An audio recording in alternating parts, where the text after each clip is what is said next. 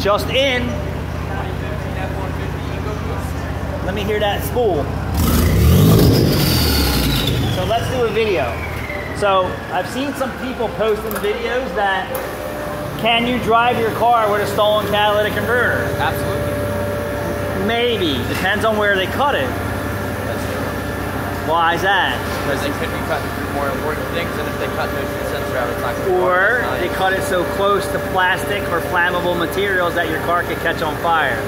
So my advice is if you don't know, don't drive it because you can risk catching your car on fire driving without your catalytic converter or exhaust system depending on where it's cut and what's protecting the flames and heat from the underbody. Let's see if we can't get any flame or something to come out and that will explain more why. So they, they did a good job stealing this cat, both cats, both downstream O2 sensors, partial Y pipe. Then what I mean by that is see how these are cut? Well, that's just blowing heat back here. This should be okay. But if you have a fluid leak, you're gonna have a fire. So he does have a fluid leak on this side. So this could catch on fire. Ahead, give us a little, little turbo.